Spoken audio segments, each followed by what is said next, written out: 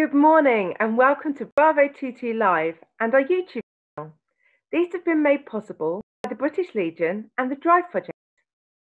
I'm Nerys and got involved with Bravo 22 participant in the brilliant art and theatre workshops they run.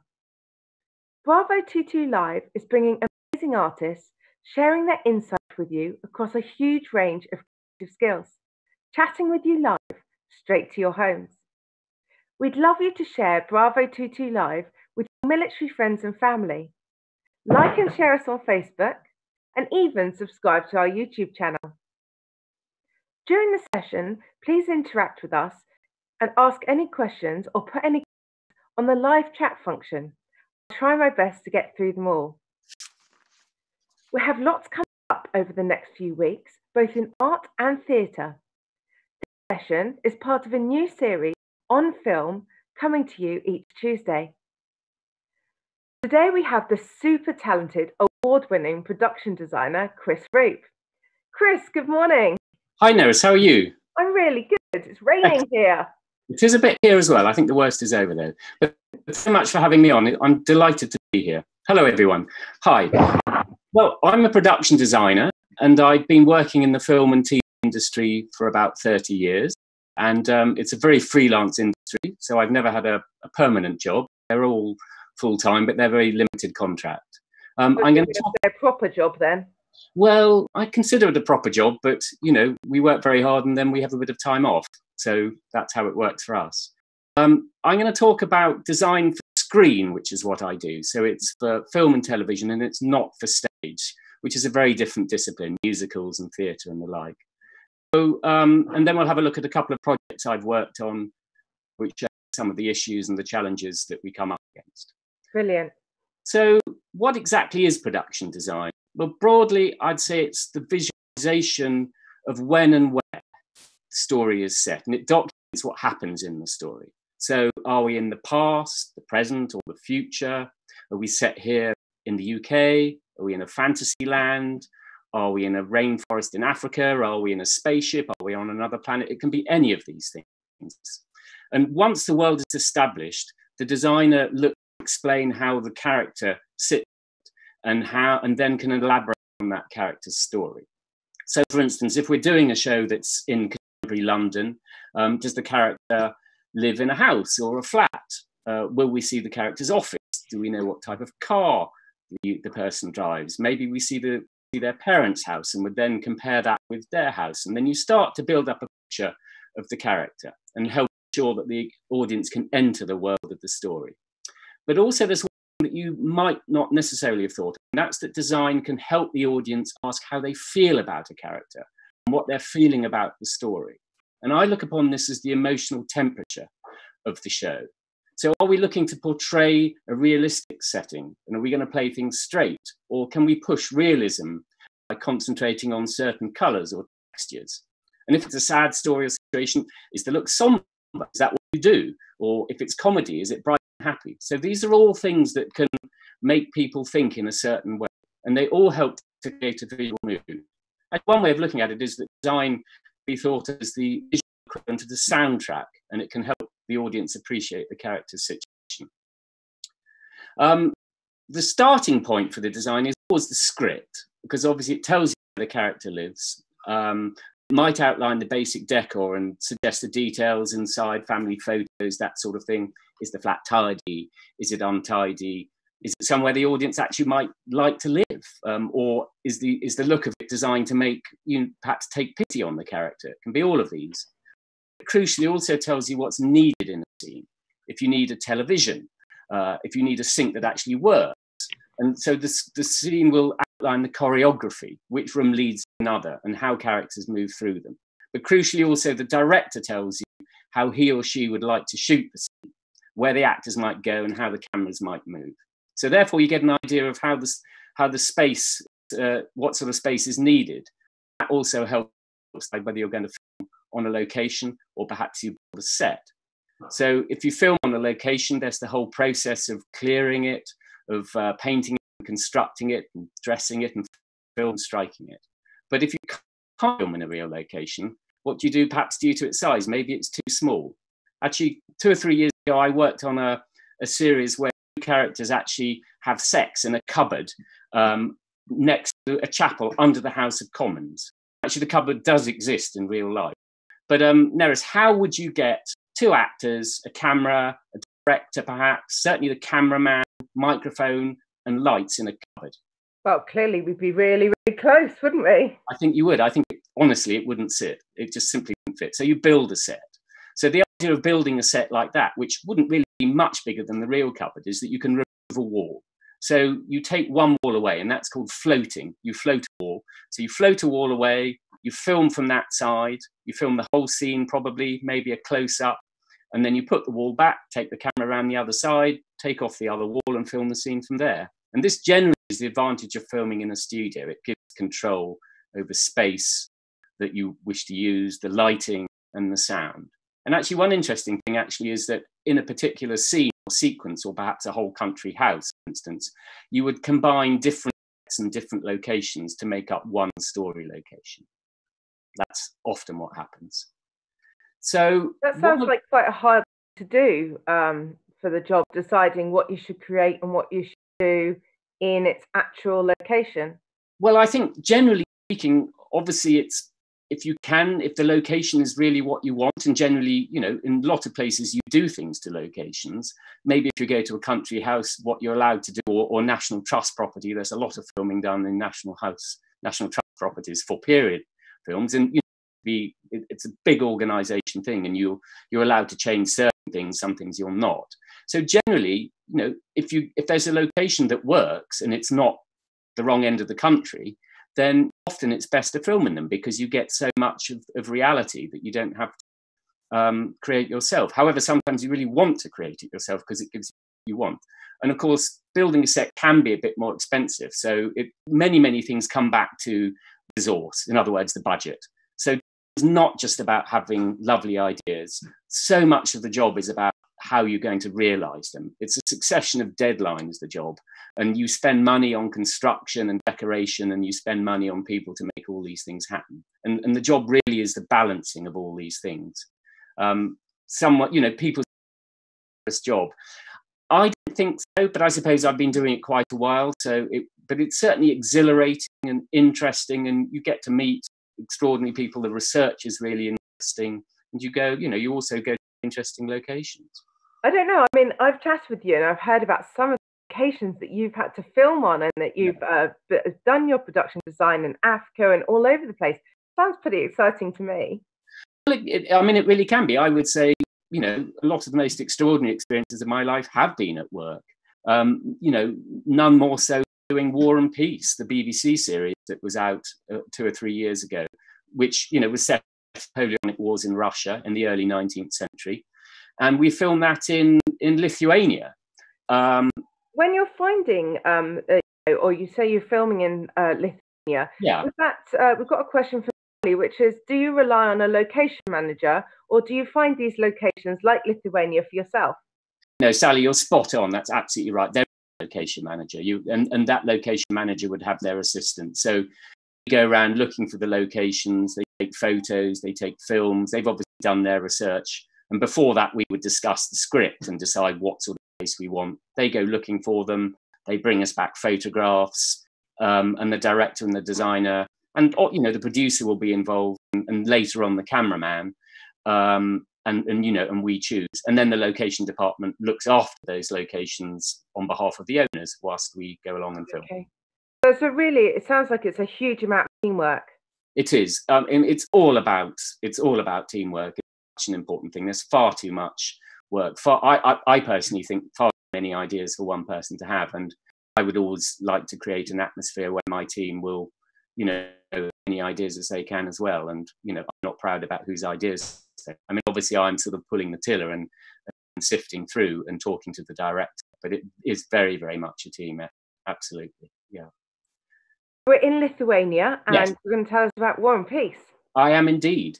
Um, well, an interesting thing about it's a big book, as, as probably most people know. It's a beautiful book. Actually, I did read it. I did read it when I knew I was doing the job, and it's such a light book, and it's got such so much great information in it and clues for the design. It was really good. Um, and we were based in Lithuania, we filmed there, and we filmed a little bit in Latvia and in St. Petersburg itself, where some of it's set. But the idea of that, so this is a period drama with four aristocratic families and their loves and lives and their, you know, how they get involved in the war. So what are the main threads of the, the design? I, you know, what, what are we trying to tell the audience? We want to tell them where they are historically and, and put the story within this background. But um, we and we need to show through the houses where they live and through the courts that they go to and the balls that they go to where they stand in society. So uh, you know, it seemed that we had to grind this in, grounded in reality, and we use you know real location. However, there were four main families, each of whom had up to three houses each, and um, you know, so on on screen it can be quite complicated for the audience to know where they are. So it's very important to differentiate between these different houses and tell the audience quickly. So, in terms of issues, we, I would say, for the peace part of the show, as opposed to the war, we discovered there simply were not enough locations to film in to tell the whole story, and our budget was not set up to build lots in the studio. So, hence, we're back to the ideas, you know, the constraints of your resources. But we worked out. I thought that if we could build one composite set, and a composite set is one where rooms lead into the other and if the schedule, the filming schedule allowed us to do it, we would, we would film in it four times, redecorating it uh, and um, re refurnishing it three times.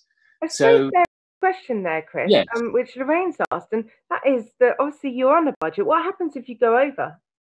That's a very good question. I don't actually know because I think I can happily say I've never gone over. I think maybe uh, I did once in America, but I think I was back by the time everyone realised. Run away. There were, there, were, construction issues, and there, there were they they did understand it why. So, I, generally speaking, I, I consider the budget, you know, in a way, my responsibility to the production, to the budget, and to everyone I'm working with, you know, on equal footing with the design as well. Of course, you know, not within the industry and the people that know you might be remembered as a budget blower if that's what you do, but generally you're going to be really remembered for you know what you've done visually. And and you know you could say that's the most important but you simply have to remember what you're doing with the budget. So you created this set so that you yeah. could use it several times over to be different people's um, houses. Yes. so um, how did that work? Can you show us? Well yes indeed first the first house which was the bolkonsky uh, house out in the country we we painted it quite light. That would be sort of much area filled um, and we built it so that we could move, minimal construction changes help, um, help each time you see it help make it look different. So we we pre-built the set so you could move the doors easily. So the next set which was the rostov house in moscow i wanted to give it a sort of tobacco-y older feel and, and make it sort of more more rooted in the past um, and then third it was another family house konsky house in moscow we actually used fabric on the wall. Found we could spray on with glue. In reality, they were generally stitched on framework, but that worked very nicely. Of course, it's only got to good for a week or so, and then yeah. if it all falls down, or, all sort of peels off, it doesn't matter. So the third time was with this dark golden fabric, and that was a that was where at the very you know the lot of the story climaxes there, and it worked really well with candles, and uh, you see a lot of candles in period. So generally, when you're thinking of these things, you're also thinking, what is, think of a think of a period portrait, you know, a master, a grand master portrait. You know, how does that feel? That you know, so you want to, you want to feel about how a tight shot on some face is going to look and what you'll see in the background. So often you're designing and posing for that sort of setting. So, Chris, when you're designing all of these sets and coming up with all these ideas, Ian's asked a question. That is, do you have a regular team that you work with? Ian, I do, yes. And some of them now are some of my closest friends. Oh. Um, I've the art director who um, who's my right man, as it were. Um, I've been working with for nearly twenty years, um, and then li- likewise the set decorator. So the art director is, nomin- is effectively in charge of the construction side of things, and the set decorator is in charge of dressing the sets, putting all the furnishings and props in, in set, and choosing those.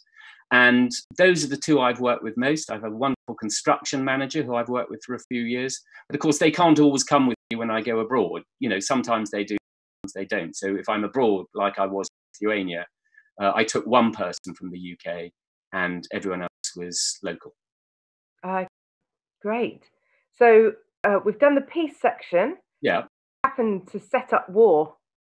Well, war was quite a big number. Um, the biggest set piece, I would say, was the Battle of Borodino, which in real life had nigh on 200,000 combatants in it. We had at most 200. Um, so obviously, there's a lot of visual trickery, a lot of which is done with visual effects, um, which can provide explosions and smoke, additional smoke, and then basically make a wide shot look like it's a full full blown battle with you know thousands of troops marching. So in order to preserve resources for this, I wanted to make our main set piece within that battle, which was the Grand Redoubt on the Russian side, which was their main artillery uh, bastion. I wanted to make that work so it could film entirely in camera. That is with minimal post production work, minimal visual effects. And I felt that that a kidney bean shape would work best so that the artillery we, we, we decided we could afford to make from scrap six guns. The artillery could be in a slight curve, and the suggestion would be off either end, there are more guns and more people happening. So we um, hired a digger, basically, a JCB, and we went, uh, we were in countryside about half an hour outside Vilnius, uh, which is the capital of Lithuania, and Henry, my art director, was down there showing him where to dig. So there, you can see the, the, the digger doing its work there, and with it are all these gabions, which, are, which were wicker baskets, which are effectively period handbags. That from the, you know, I, I, would say the towards the end of the 19th century, they're using sandbags and gabions are disappearing. But of course, so they were designed for all the, the spoil, all the earth to go, um, and that would provide protection against shot, musket shot, and up to solid shot from cannon. Um, so you can see that the, you you will have seen that, and you can see that in the second picture. You can see the guns that we and and this is the this is the dress before the filming starts. Uh, Nerys, if you what I decided to do was leave two or three of the gabions empty without um, without earth. So why do you suppose that? Well, it sounds like you move things around on set, and they sound really heavy. That's exactly right. Exactly. So it's it's equivalent of floating the walls so what we had to do, we had to put black material inside these gabions so that the light wouldn't through them, so they still look full. It had a piece of wood on the top with just a little bit of earth piled on it, but we could pull them away, give the camera a different position nearest the main gun that we were using. And also, if you do that, you're also suggesting to the director and the cameraman where you think the best angle on the set is. So hopefully they film it in the way that you know you want them to film it and we've got a we've got a little extract of um, of, of one of the scenes in the story. Be brilliant to see it. Yeah. All right, I won't get in the way. Let, let me know if there's anything I can do. Oh,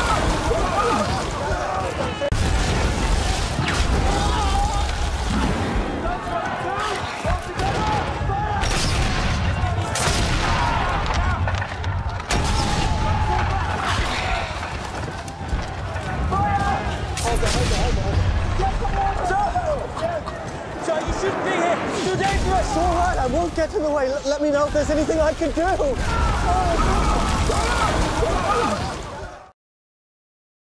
So you would have seen Pierre, who's one of the main characters who lives in um, one of the houses earlier. His character just wanted basically to see what war is like. He's a Russian nobleman and he, he goes to the battle and asks to be put in the thick of it and see if there's anything he can do to help. So, as I said, you know, experience and ideas from the book, from the novel itself. And I also got a lot of ideas from paintings. And actually, one of the first books I bought when I was 10 or 11, I was very interested in military history and still am. So War and Peace was a good job for me. So basically, you look for contemporary illustrations and um, ideas to help you make things correct. So those are almost like your other inspirations to bring. So your, the script is your first inspiration, the first thing you go to and then yeah. you use all these other things added to it to inspire you more to get the feel for it. Yeah exactly that exactly that. And then of course you know you also think what might work from you know just from your pure imagination. So i always find it's good to ground yourself in reality and then and then go off from there which actually is rather what happened in another project i worked on which was a film called thunderpants which was made about 20 years ago. It was a children's family film very different to War and Peace because it was about a boy who had completely uncontrollable flatulence and he's bullied at school. It turns out he has two cows. I, I beg your pardon, he has two stomachs like a cow. But ultimately, he uses this issue to do good, um, and he makes friends because he. It turns out he can use his emissions to power a rescue rocket that goes up to uh, rescue a stranded space station. So obviously, this is not quite a normal everyday story. Um, so we, the director Pete and I talked about how we would make it look, and we decided it needed an element of. And actually, when he sent me the script, he also just said, um, "It's going to be green, by the way, Chris." So I took, I thought about that, and then I thought about comics and how how they're printed and how they just have two colors. So we decided everything green would be good. Talking of green, um, yes, we've got a great question in from Matt, and that is how much green screen and CGI um, do you now use over traditional uh, production design? Well, that's a really good question. Um, I think it varies from project to project. Personally, in the last show I did, we've had quite a lot um, because uh, we had we, we filmed in a house in Scotland where a whole wing was meant to have burned down. So actually, what we did was the, the grip department, the, the scaffolders built an enormous green screen off one side of the building, um, which is behind a low single story building. And then later on in post production, that is all put in. So I think it varies. It does vary. And then if you want effects above it, you, know, you often use greens in front of which you put effects, but it very, very much varies. Great, thank you. Great. So Thunderpants. So yes. We're in this green world. Oh, indeed. And not a green screen world. There was not very much green. that was 20 years ago. And there was a little bit um, not a huge amount. Um, but you'll see um, what we did. We literally decided to paint everything in the world, his immediate world, green. So his living, his his kitchen, you can see coming up shortly. Um, and the idea was just to make it very simple, very broad strokes. That you know, it's not full of smalls and decoration, and we just very very simple, following the idea of green and one other color, either the wood color or a cream color to go with it. So just very simplistic and rather comic book in its in its feel. And we also did the same for the outdoors.